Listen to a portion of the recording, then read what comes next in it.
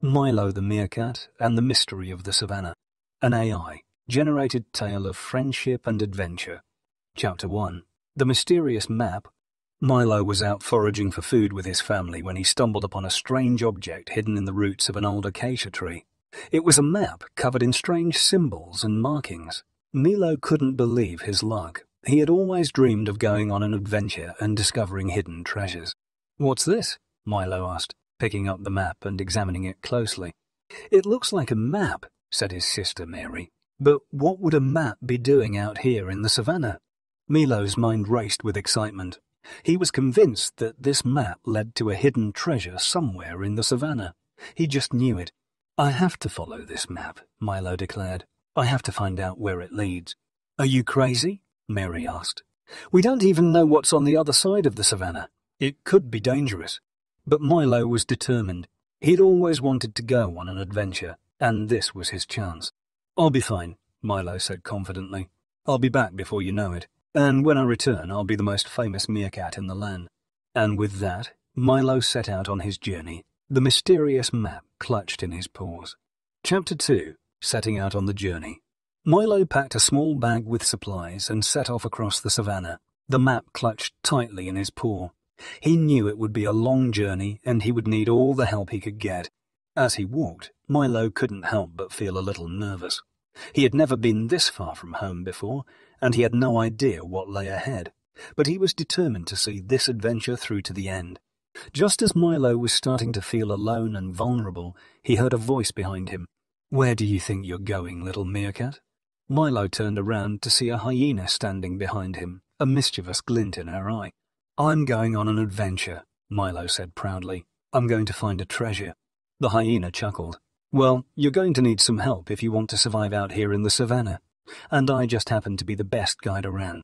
Milo was hesitant. He knew that meerkats and hyenas didn't usually get along, but he was desperate, and he knew he couldn't do this alone. What's your name? Milo asked. Sophia, the hyena replied. And you are? I'm Milo, Milo said, offering his paw in friendship. Sophia hesitated for a moment, then took Milo's paw in hers. Well, Milo, it looks like we're in this together. Let's go find that treasure. And with that, Milo and Sophia set off across the savannah, filled with excitement and determination. They had no idea what dangers and challenges lay ahead, but they were ready for whatever the savannah had in store for them. Chapter 3 The First Obstacle Milo and Sophia had been travelling for several days, and they were starting to get tired. They had been careful to avoid the larger predators of the savannah, but they knew they couldn't be too careful. As they walked, they suddenly heard a rustling in the grass behind them. Milo turned around to see a pack of hungry jackals emerging from the underbrush, their eyes fixed on Milo and Sophia. Oh no, Milo said, his heart racing. We have to get out of here. Relax, Sophia said calmly. I've dealt with jackals before. We just have to outsmart them. The jackals circled Milo and Sophia, snarling and snapping their teeth. Milo knew they had to come up with a plan, and fast. We could try to run, Milo suggested. Too risky, Sophia said. They'll catch us before we get very far. Then what do we do? Milo asked. Sophia thought for a moment, then had an idea. I have a plan. Follow my lead. Sophia let out a loud, menacing growl, causing the jackals to pause for a moment. Then she charged at them, baring her teeth. The jackals yelped in surprise and ran off into the grass, leaving Milo and Sophia alone once again. Well done, Milo said, relieved. I didn't know you could be so intimidating. There's a lot you don't know about me, Milo, Sophia said with a wink. Now, let's get out of here before those jackals come back. Milo and Sophia hurried off across the savannah, grateful to have survived their first obstacle. They knew that there would be many more challenges ahead, but they were ready to face them together. Chapter 4 The Oasis Milo and Sophia had been travelling for days, and they were starting to feel the effects of the scorching savannah sun. They were hot, thirsty, and exhausted. Just when they thought they couldn't go on any further, they stumbled upon a beautiful oasis in the midst of the desert. The crystal clear water looked inviting, and the shade of the palm trees offered a welcome respite from the heat. This is perfect, Milo said, collapsing under a tree. We can rest here for the night. Agreed, Sophia said, taking a long drink from the cool water. I don't think I could go on any further today. Milo and Sophia settled down for the night, grateful for the chance to rest. They were just drifting off to sleep when a loud noise startled them awake. What was that? Milo asked, sitting up with a start. I don't know, Sophia said, peering into the darkness. But I have a feeling we're about to find out. Suddenly, a loud trumpeting noise filled the air, causing Milo and Sophia to jump in fear. They had never heard anything like it before. What could that be? Milo asked nervously. I don't know, Sophia said, trying to calm her racing heart. But whatever it is, it sounds big. Milo and Sophia waited in silence, straining to hear any other sounds. The trumpeting noise had stopped, and all was quiet once again. I think it's gone, Milo said, sighing with relief. I hope so, Sophia said, settling back down to sleep. I'm not sure I could handle any more surprises tonight. Milo and Sophia fell back into a peaceful sleep, unaware that the mysterious trumpeting noise was just the beginning of their adventure. Chapter 5 The Elephant's Trunk Milo and Sophia were enjoying a peaceful breakfast at their campsite when they heard a loud trumpeting noise. They looked up to see an elephant approaching, its trunk raised high. Don't be afraid, the elephant said in a surprisingly gentle voice. I'm not going to hurt you. I just got lost and couldn't find my way back to my herd. Milo and Sophia couldn't believe their ears. The elephant was talking to them. You can talk, Milo asked in amazement. Of course, the elephant replied. My name is Misha, and if you don't mind, I'll just be on my way. Sorry for the disturbance. Milo and Sophia watched as the elephant turned to leave, but before it could disappear into the brush, Milo had an idea. Wait, Milo called out. Why don't you come with us? We're on a journey to find a treasure, and we could use a strong and wise companion like you. The elephant considered Milo's offer for a moment, then nodded its head. I appreciate the offer, the elephant said, but I can't abandon my herd. They're probably worried sick about me. However, I could join you for today and help you on your journey. My name is Misha, by the way. Milo and Sophia were thrilled. They had never had an elephant as a companion before. They quickly packed up their campsite and set off across the savannah, with Misha by their side. They had no idea what dangers and challenges lay ahead, but they were ready for whatever the savannah had in store for them. Chapter 6 The Rolling Stones Milo and Sophia said goodbye to Misha the elephant with heavy hearts. They had enjoyed having such a wise and strong companion on their journey, but they knew it was time for Misha to return to his herd. As Milo and Sophia journeyed deeper into the savannah, they came across a strange sight. A field full of rolling stones, moving on their own accord. Milo and Sophia were amazed. They had never seen anything like it before. Do you think it's some kind of magic? Milo asked, his eyes wide. I don't know, Sophia said, approaching the stones cautiously. But I have a feeling we're about to find out. Milo and Sophia watched in amazement as the stones rolled past them, seemingly with a mind of their own. They had no idea how it was possible, but they were determined to find out. I have an idea, Sophia said, a mischievous glint in her eye. Let's follow the stones and see where they lead us. Milo hesitated for a moment. He wasn't sure it was a good idea to follow something they didn't understand. But Sophia was already on the move, and Milo knew he couldn't let her go alone. Okay, Milo said, swallowing his fear. Let's do it. Milo and Sophia followed the rolling stones, keeping a safe distance behind them. They had no idea where the stones would lead them, but they were excited to see what lay ahead. Chapter 7 The Lion's Den Milo and Sophia had been following the rolling stones for hours, and they were starting to get tired. They had no idea where the stones were leading them, but they were determined to see it through. Just as they were starting to lose hope, they came across a lion's den. The lion, a massive male with a mane of golden fur, stood blocking their path, a fierce look in his eyes. Halt! the lion growled. What business do you have in my territory? Milo and Sophia froze in fear. They knew they had to be careful. A lion's bite was deadly. We're just passing through, sir, Sophia said, trying to keep her voice steady. We meant no disrespect. The lion snarled, his eyes fixed on Milo and Sophia. I don't believe you, the lion said. You're hiding something. I can sense it. Show me your map. Milo's heart raced. They couldn't let the lion see their map. It was their only clue to the treasure. We don't have a map, Milo said, trying to sound convincing. The lion roared, his eyes flashing. Don't lie to me, the lion growled. I can smell the map on you. Hand it over, or suffer the consequences. Milo and Sophia knew they had to act fast. They looked at each other, and in that moment they knew what they had to do. Okay, okay, Milo said, holding up his hands in surrender. We'll give you the map. Just don't hurt us. Sophia reached into her pack and slowly withdrew the map, trying not to shake. But as she handed it to the lion, she palmed a small rock that she had picked up earlier.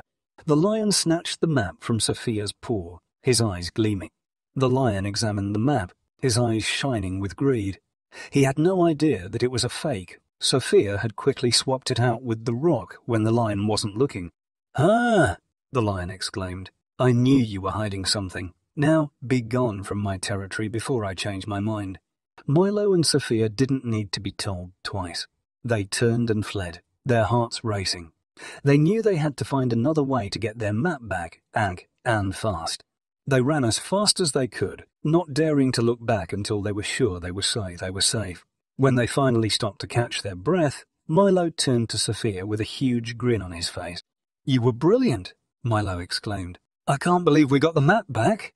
It was nothing, Sophia said, grinning back.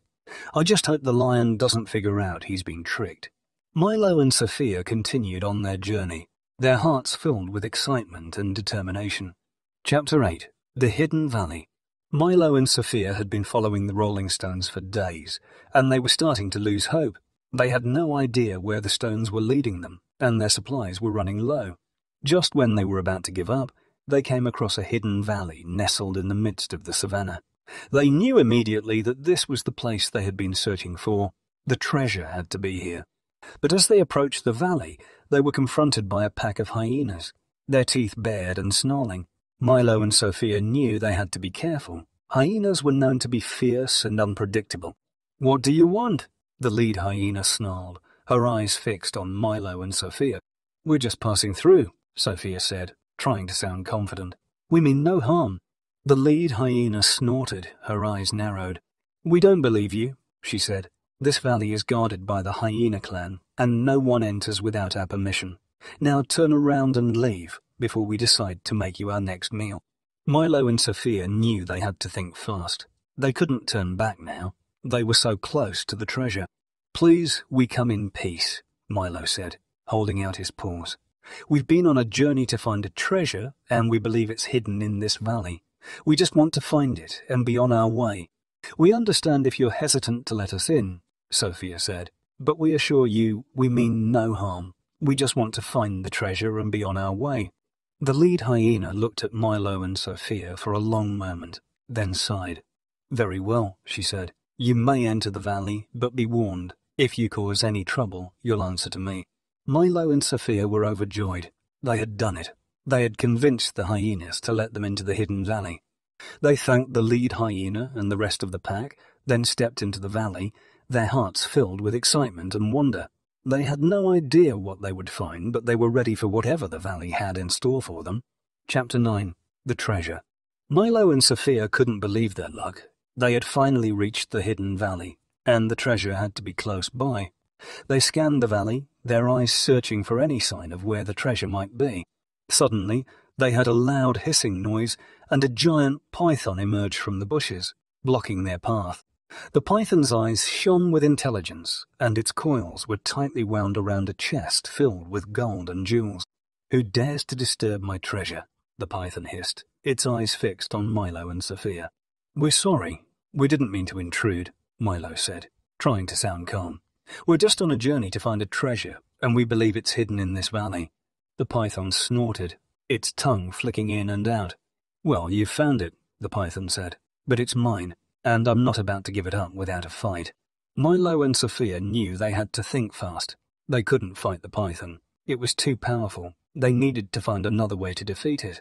Please, we don't want to fight, Sophia said, her eyes pleading. Is there any way we can peacefully come to an agreement? The python considered Sophia's words for a moment, then nodded. Very well, the python said. I'll make you a deal. What kind of deal? Milo asked, his heart racing. I'll give you the treasure, the python said, if you can solve my riddle. If you get it wrong, you'll have to leave the valley empty-handed.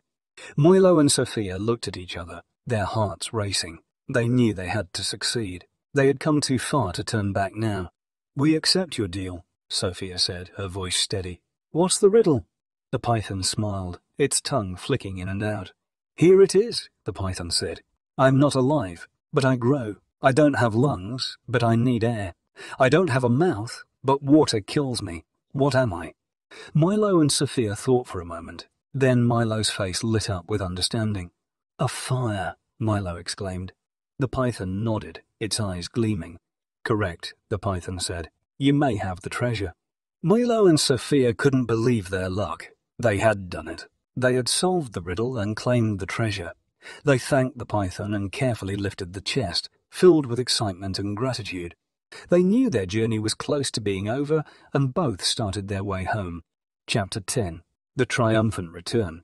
Milo and Sophia couldn't believe it. They had finally made it home, the treasure safely in tow. They had been gone for so long, and they were eager to share their adventures with the other animals in the savannah. As they approached their home, they were greeted by a crowd of cheering animals. Meerkats, hyenas, elephants, and more had come out to welcome them back, and Milo and Sophia couldn't help but feel overwhelmed by the outpouring of love and support. Milo, Sophia, a group of meerkats shouted. You're heroes! Milo and Sophia grinned at each other, their hearts filled with joy. We couldn't have done it without each other, Milo said, turning to Sophia. And we couldn't have done it without the help of our friends, Sophia added, looking at the crowd. The animals cheered even louder, and Milo and Sophia knew that they had truly made a difference in the savannah. As they shared their adventures with the other animals and distributed the treasure among the community, Milo and Sophia, Milo and Sophia knew that they had cemented their place as the most famous meerkats in the land. And they knew that they would always be the best of friends, no matter what challenges the savannah had in store for them in the future.